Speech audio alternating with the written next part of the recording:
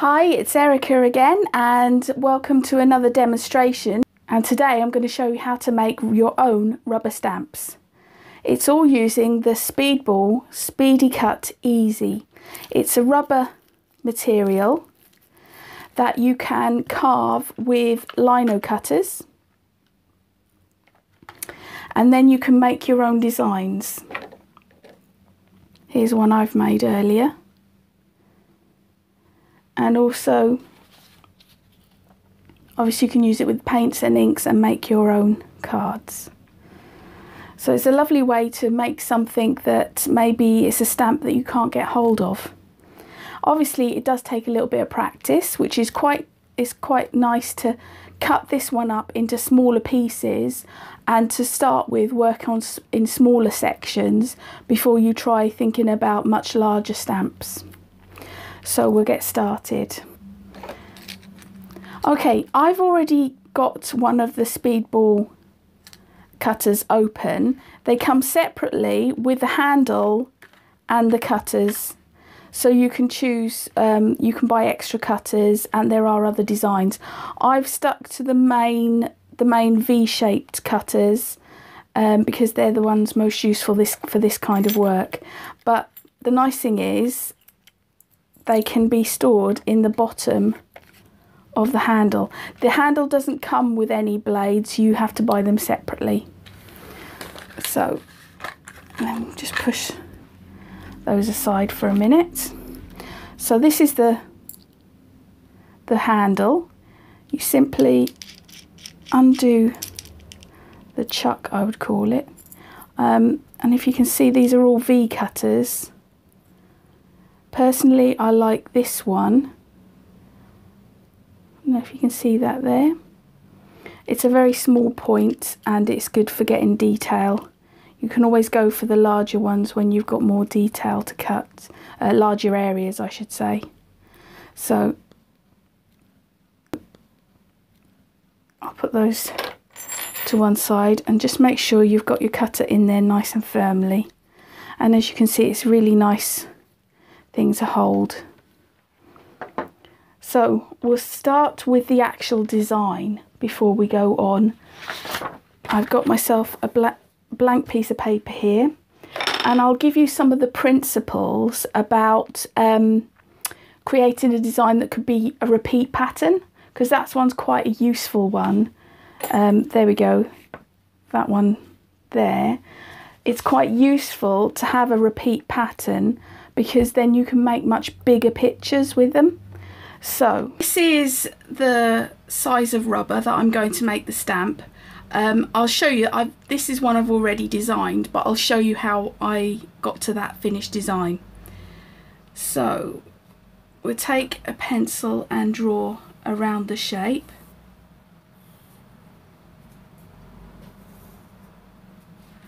Hopefully you can see that now. So I know my stamp is, is that size. And then for symmetry, I'm going to go vertical and horizontal. It doesn't have to be perfect, just has to be roughly the size. So hopefully you can see that. Now um, for this one I'm going to do it in a darker pen so hopefully you can you can see the design. So obviously that's our centre point. And then I'll uh, use that one as a reference. You can see where I started. And hopefully this will be visible now. I started with this line. Would help if it was in the right place.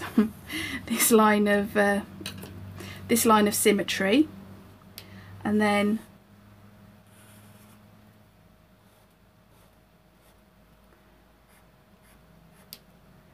so again using the lines going away from it like you're looking at a mirror image. And then I was thinking along the lines of a flower. So we've got a flower shape coming away from this so we've done that side so we'll think about doing it that side so we've got a mirror image but it's uh, an opposite. Does that make sense? So we've got our bell coming out there and coming out of here and obviously there's other bits of the flowers coming from this side. The most important thing is when it's repeating that the other design is obviously going to come that way. Like so. And then the other design after that will come that way. So you can you can kind of see where the the design will repeat. Okay so the next stage was to trace that design and I'm only going to get the basics of it because it's better to have less detail going on in your initial stage because you can always add them afterwards.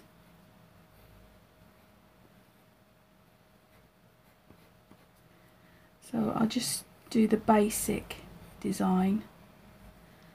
And then obviously because it's a rubber stamp, you want the reverse. So it's a good thing with a tracing because you just flip it over and you put it on to your rubber. And I'll just do a bit of it so you can see. You can transfer the design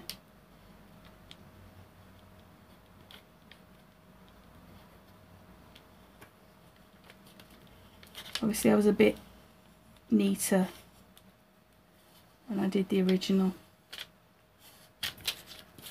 So there we can see, you can always just add where it's not quite worked. There. One, two, three. And there we go. And that's the design transferred. And obviously when I cut it out, it looked like that. Um, I want to show you the page, if I can find it. This was my original. So you can see I was thinking along the lines of this design and then I chose that one.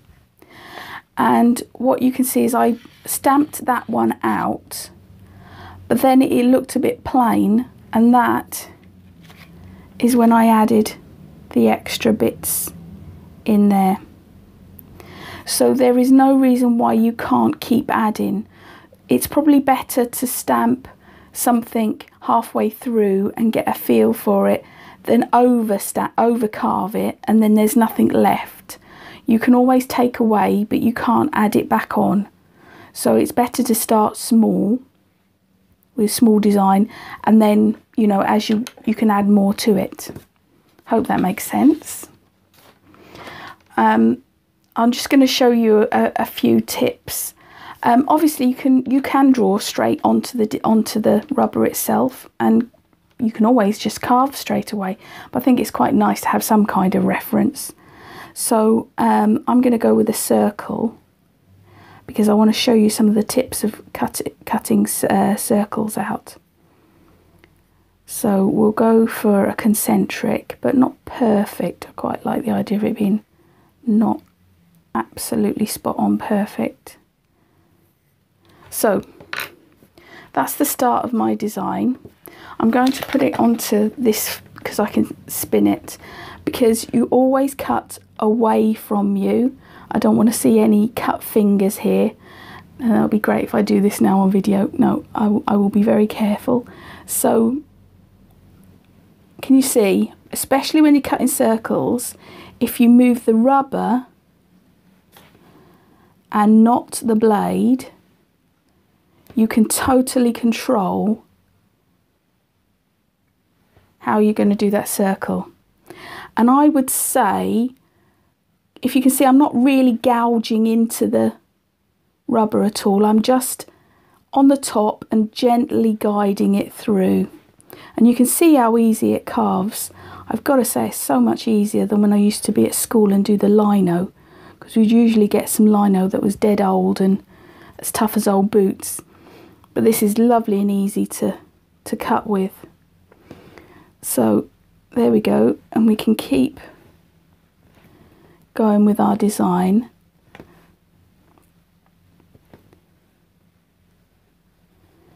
And keep turning. So I would say the circles are the difficult bit. So I've showed you the difficult bit, the rest will be easy. And then I'm going to add some decoration. So we're going to have some little cuts going outwards on this one.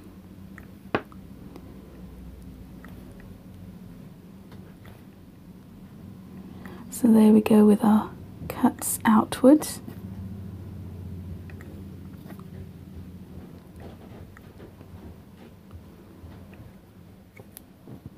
So, and there we have it. We've got our cuts going outwards and so we can start to see we're building up a design. So I'm just gonna I'm just gonna add a secondary line to the outer quite close to the edge.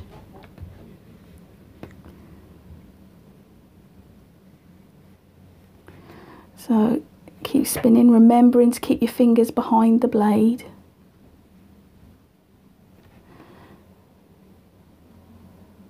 don't want to injury live on video, do I? right. So there we go, and we just keep building. And obviously you can choose any sort of design that you want. I'm going to try and be difficult here and do some kind of wiggly designs.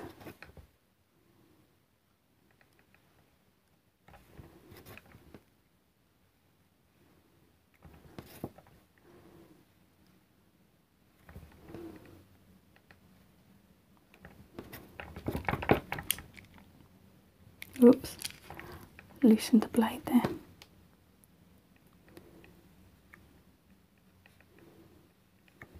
And see what I find is if you're moving the rubber and not the blade, it's much easier con to control.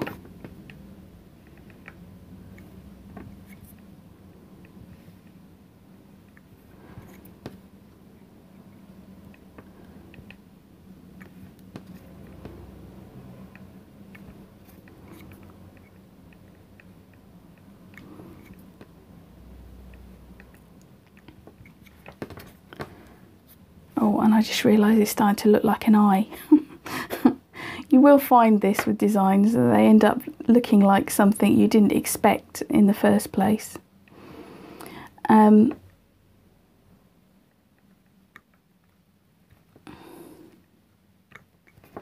I'm going to do little little marks, whoop, nearly and I can do little flick marks so I'm not actually completely cutting. I'm just giving a little bit of detail and these little marks will show up really well on the rubber.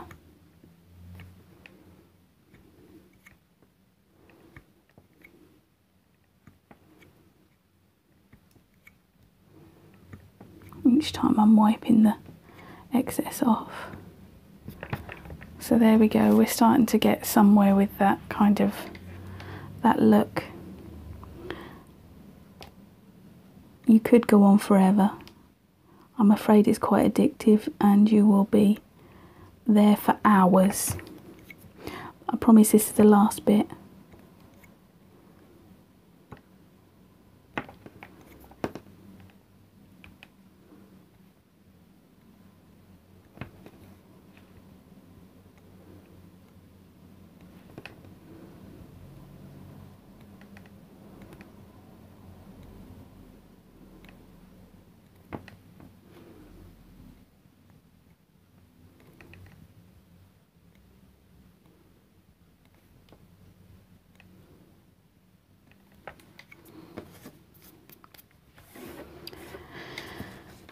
Right, so that's our main pattern what I'm going to do is, oh, I've to come out, is I'm going to change my blade. I'm going to go for the bigger one.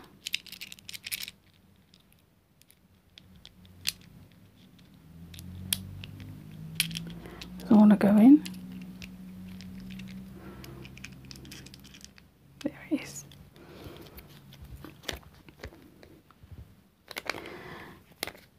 And then I'm going to go around the outside.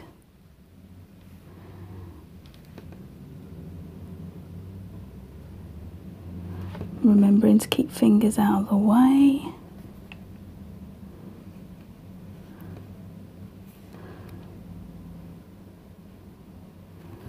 and then I'm actually going to cut it like you would trim a, a rubber stamp so there's no outside it's all going to be cut away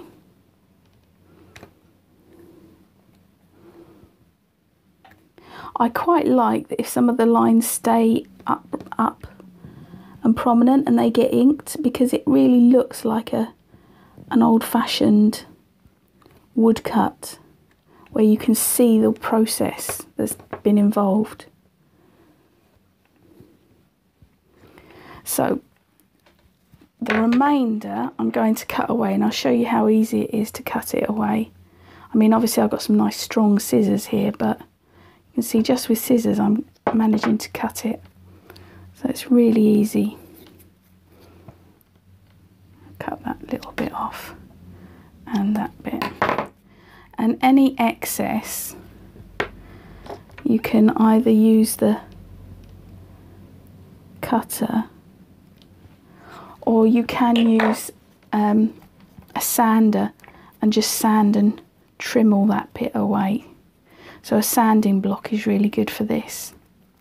But this is my first attempt at using it, so we'll try it out now.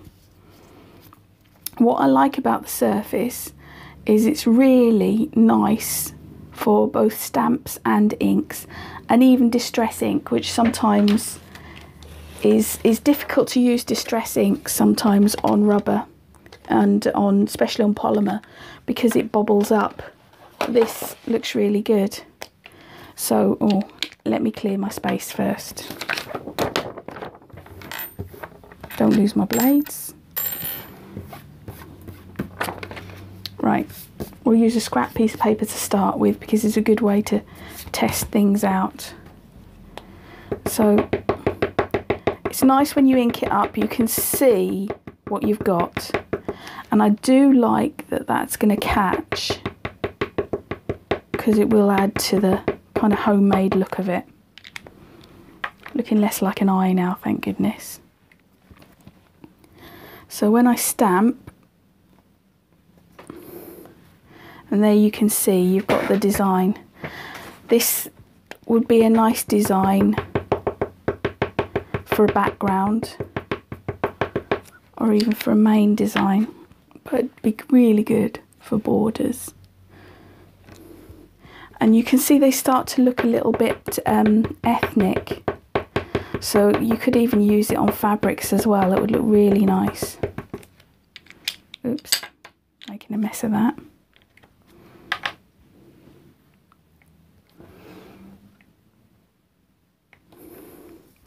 But now I've decided I'm on looking at the stamp, I think I can afford to take a little bit of the middle out.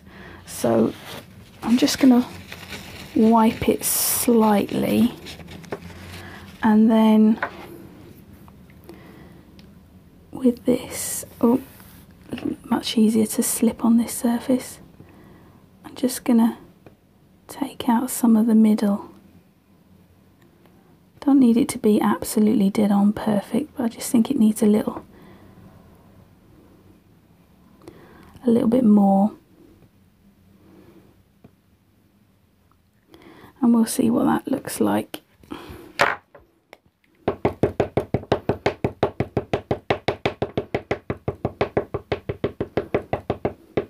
You can see how well this rubber takes the distress ink, which is bit of a revelation really.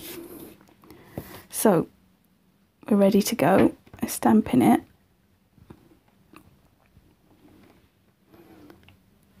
And there we go. That's just giving it a little bit more balance. That was a bit too heavy.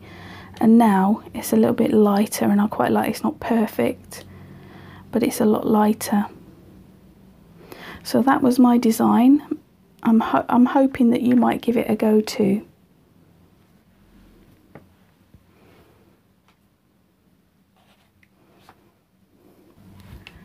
The next stage of making a stamp would be to make something based on an image. Uh, for this, I've used a photo of, of myself. Um, I've condensed it right down to that size and then obviously with tracing paper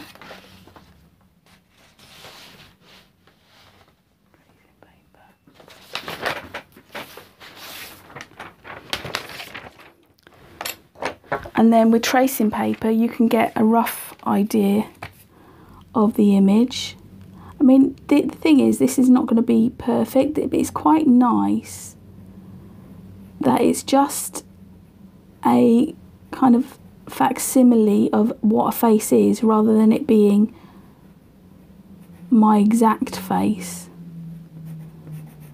So what I did was I just as you can see, draw in the black bits.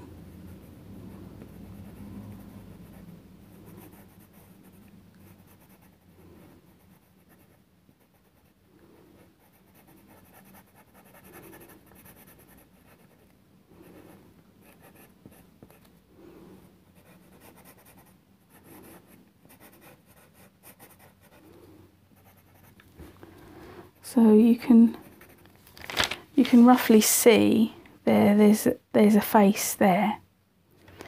And then what I did was obviously you reverse it and then I traced it onto the rubber and then I cut a design out.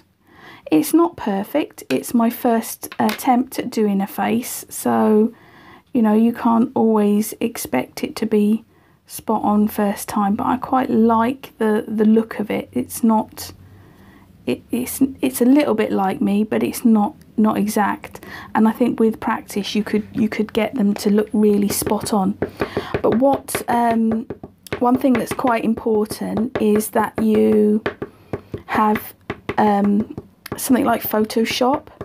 Take the photo it's quite nice if it's quite contrasty between the light and dark. So it's quite nice if you've got a strong light on it. And then what I did was I made it obviously black and white. And then on the settings for contrast, I set the contrast up higher. So the black and the white becomes more distinct. And it gives you something easier to work with. So when I had this, this is the stamp that I made from it. It's just an idea to give you, you know, you can have a go. So there it is. I quite like it. I don't think it's perfect, but I quite like that it's not perfect. And I've used it in my journal here and I just used some text. I've just handwritten that and then with a black pen just gone over the top of it. The background is all distress inks um, with a stencil. I quite like that I've used this little square stencil to look like almost like a pixelated image from a computer. So it's it's kind of for me it represents handmade and computers sort of mixed together. Or is that getting too deep now? Probably. But anyway, this is this is what this is what it sort of represents for me. This is what my art journaling is about. I do a page and then you know you can reevaluate and analyze it and see what what it's what it's really about. So um, that's why I love journaling. Anyway, I'm going I'm going too far off piste now to and I'll come back to it. So the stamping. This is a little heart stamp that I made and I've just used it in a repeat pattern. And this is with paint so I can show you just how nice it is with paint. You can use a brayer and roller the paint onto the stamp or you can do the, the technique I use often and with a little puddle of paint and pick it up and stamp it. But you can see you get a nice image with paint as well. See I've explained before with that stamp because it's a repeat image they match up and then you, that's the, the beauty of this you never know what you're going to get. Because when you're stamping out it's one thing to stamp a stamp but then when you use it in repeat formations you it becomes something else. So it's a really nice way to use your stamps and really experiment with pattern. So thank you very much for joining us and um, hope to see you next time thank you